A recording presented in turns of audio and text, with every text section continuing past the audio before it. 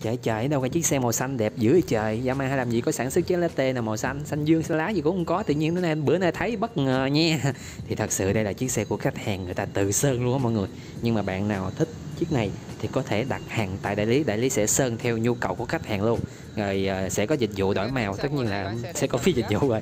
Ngoài ra các bạn không thích xanh lá thích xanh dương thích màu hồng màu tím màu vàng gì đó thì có thể đặt sơn tại đại lý luôn. Nói chung mình thấy rất là lạ nên mình quay cho các bạn xem rồi, hello, xin chào tất cả các bạn đã đến với kênh của mình nha. Và hôm nay Quang sẽ làm video để quay chiếc xe tay ga cho nữ tầm trung của Yamaha.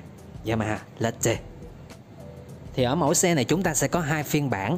Một phiên bản tiêu chuẩn và một phiên bản giới hạn. Thì cái phiên bản tiêu chuẩn với phiên bản giới hạn thật ra là nó y hệt nhau, không khác cái gì hết. Nó chỉ khác nhau về cái màu sắc cũng như là cái tem ở bên ngoài thôi. Còn tính năng của nó thì y hệt nhau, bởi vì nó trên là chỉ có một ít thôi. Rồi đầu tiên mình sẽ quay màu đỏ cho các bạn xem. Đỏ thì nó sẽ phù hợp với các bạn nữ nào mà không thích màu đen tại vì nó quá tối mà không thích màu trắng tại vì nó dễ dơ thì họ sẽ lựa chọn màu đỏ. Nếu như mà họ không không có kỵ, đúng thì mình thấy là màu này bán khá là chạy. Tại sao mình gọi xe này là xe tầm trung? Đối thủ của chiếc xe này là xe nào? Đối thủ của Genus là Vision bên Honda đối thủ của Ronde là SH đối thủ của Latte là chiếc xe tầm trung bên kia là Lit Ninja Lit đó. đó.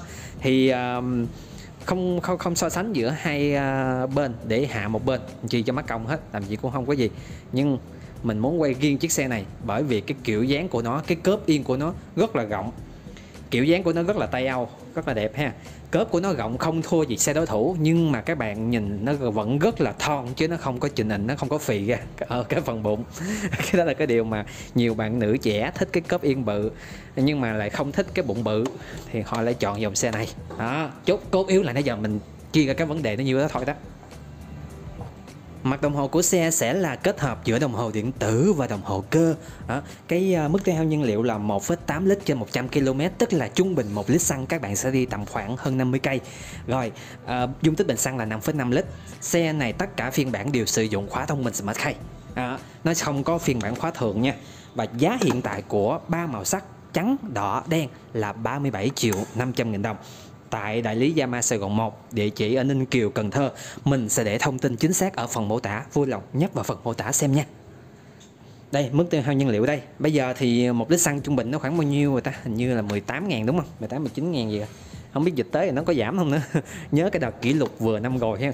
Trời ơi xuống đâu còn có 11 12 ngàn lít à. Năm nay dịch tới nữa à. Cấp yên cấp yên phải nói là cái ưu điểm mạnh nhất của chiếc xe này.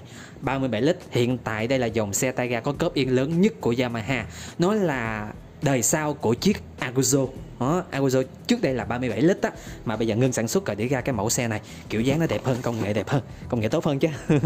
Đó, rất là rộng nhưng mà các bạn nhìn cái phần đuôi của nó cũng vẫn rất là thon và dài chứ nó không có bị bự ra nó không có phì ra. Nó cũng không có ngắn. Đó. chúng ta sẽ có chế độ bảo hành là 3 năm hoặc là 30.000 cây trên toàn quốc ở các bạn đi bảo hành bảo dưỡng bất kỳ đại lý nào cũng được nha. Rồi à, bản khóa thông minh này chúng ta sẽ ờ, có khi các bạn nhận xe là nhớ lưu ý nhận một cái remote một cái mã sáp số và hai cái chìa khóa cơ dự phòng. Rồi đây là bộ phụ tùng ốc chích nó có hai cái cây vậy thôi. Đó cái chỗ cái sợi dây thông nhận diện đó là chứa hai cái sợi ờ, hai cái chìa khóa cơ đi dự phòng mở cấp yên đó. Rồi đây là cái đít xe lúc nãy giờ mình khen hoài nó thon thon hoài nè. Đó các bạn nhìn thấy ha cái yên của nó là yên màu nâu nha. Tất cả phiên bản là yên màu nâu hết. Cái sàn để chân cũng rất là rộng luôn. Chiếc xe này nó hơi hướng về gia đình tí xíu ha. Tất nhiên là ăn gian được một cái cản nữa thì các bạn sẽ chở bốn người vi vu cho chiếc xe này. Cái cớp này thì đi phượt nó là quá ok sàn để chân cũng rộng rãi nữa. À, bạn các bà mẹ bỉm sữa để cái ghế vào đây thì còn cái gì mà bằng nữa. Rồi trong tất cả phiên bản nói về độ trẻ chung thì có màu nào qua được màu trắng ngọc trai?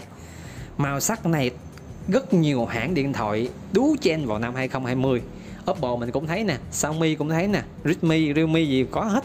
Đó là có trắng ngọc trai hết. Và Yamaha cũng thế hình như là màu này chỉ sản xuất trên dòng xe của Yamaha đó mọi người mình không thấy những cái hãng xe khác có màu trắng ngọc trai này. Rất là thanh lịch rất là sang trọng luôn rất là đẹp luôn. Và giá nó cũng bằng giá luôn 37 triệu 500 nghìn đồng. Tuy nhiên màu này như lúc nãy mình nói là nó sẽ dễ dơ. Tất nhiên là màu quá sáng thì nó sẽ dễ dơ. Đây sàn để chân rộng nè. Cái chân của mình là giày size 40 đó mà mình để vô mà nó còn rộng thì các bạn nữ chân nhỏ hơn như thế nào? Nhưng là quá thoải mái để sử dụng xe này trong quá trình trải nghiệm rồi. Tem của xe sẽ là tem nổi nha không phải là tem dán nè. Tem nổi rất là đẹp luôn chữ latte. Latte là thương hiệu của hãng gì? Cà phê trà sữa vậy đó. Ừ. Ở đâu mà bên nước ngoài đó. Rồi cái đây là cái dè sau nè. À, một ít về thông số kỹ thuật. Xe này là 125 phân khối và 100 kg ừ. phuộc thì nó chỉ có một cây phuộc thôi. Phục này thì nó êm ái hay là nó cứng thì à, tùy theo người chạy tùy theo người dùng nha. Nếu bạn nào muốn thay phục khác thì cũng được luôn. Thì ra ngoài tự độ chứ tôi không có độ dùm cái độ cao gầm là 125 còn kích thước xe là 1820 nhân với 685 nhân với 1160 dài rộng cao á. À, về cái à, bánh sau là 100 sạc 90 10 inch. Lớp là lớp không xăm hết nha cả bánh trước lẫn bánh sau đều là lớp không xăm tức là vỏ không gột hết á vỏ mắt xích luôn nha đó. Rồi đây là cái bồ xe nè cái quạt gió nè. Latte ồ sao chiếc này nó có tem nhỉ? Ờ, đây là phiên bản giới hạn. Latte limited. Latte chứ đọc latte mới đúng không? À, thì đây là phiên bản màu bạc nhám ha.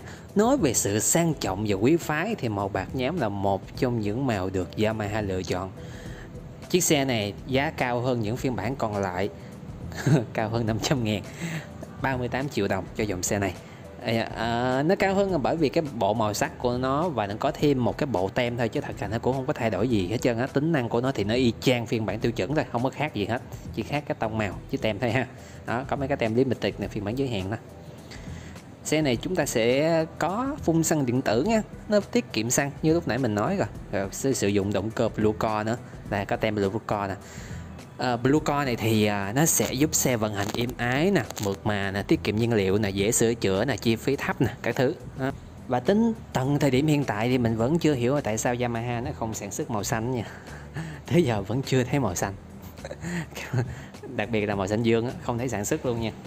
Rồi tiếp theo là màu đen nhám màu cuối cùng trong bộ màu sắc này.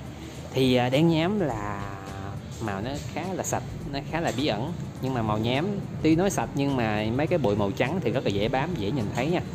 Đây là cái à, những cái tính năng của xe nó có đề một chạm luôn nè. Tức là các bạn nhấn cái là không nghe tiếng đề luôn đó nó lên động cơ luôn rồi có stop and start tức là ngắt tự động luôn. Chung chiếc này cũng đầy đủ tính năng. Tuy nhiên nó không có phanh ABS nha trong tầm giá này tất nhiên là xe tầm trung mình sẽ không có hệ chống bó cân phanh đó. À.